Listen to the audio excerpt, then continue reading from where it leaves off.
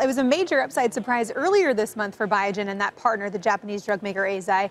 The two reported that a mid-stage clinical trial of an Alzheimer's drug had met its goal after a year and a half. Now that's after the trial hadn't met its goal at one year.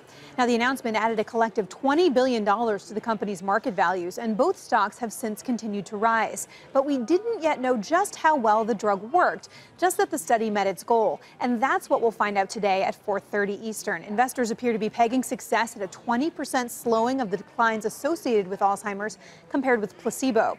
And while hopes are high for the medicine, there's reason to be cautious. The failure rate in Alzheimer's drug development is unfortunately extremely high, including at least nine late stage clinical trial failures over the last decade, just a few of which are shown here. Now, many in the field say success today would do two things. One, increase confidence in Biogen's later stage Alzheimer's drug, with results expected in 2020. And two, bring major support to medicine's very understanding understanding of Alzheimer's disease itself, that by targeting amyloid plaques, you can actually change the course of the disease. The amyloid plaques that are seen to build up in the brain, on the brain yeah, people. Exactly. Yeah. Okay. Uh, go ahead. Mizuho had an interesting note out uh, a couple days ago, maybe yesterday, saying that 15 percent um, on the ADCOM score would actually be fundamentally good data, but investors are looking for that 20% number. So if it's lower than 20%, it's important to keep in mind that maybe that doesn't that doesn't necessarily mean the drug is a failure or is not effective.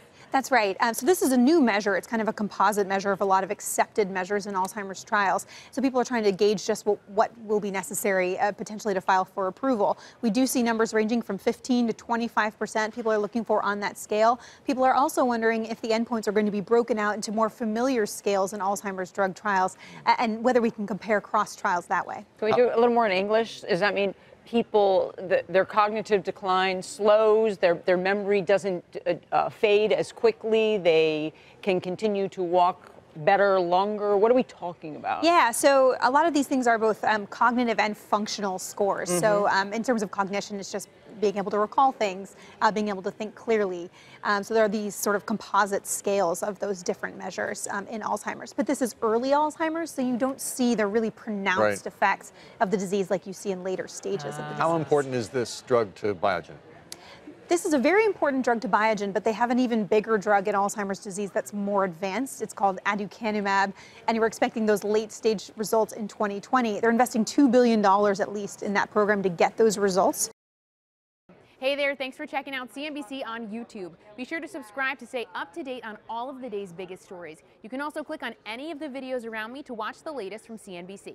Thanks for watching.